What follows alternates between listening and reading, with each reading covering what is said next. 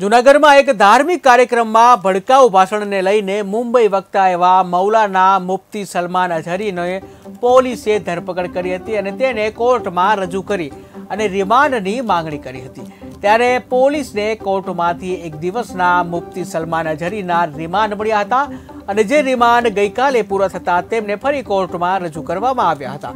અને નામદાર કોર્ટ દ્વારા ગઈકાલે તેમના રિમાન્ડ પૂરા થતા મૌલાના સહિત અન્ય બે આયોજકોને પણ શરતી જામીન પર મુક્ત કરવામાં આવ્યા હતા.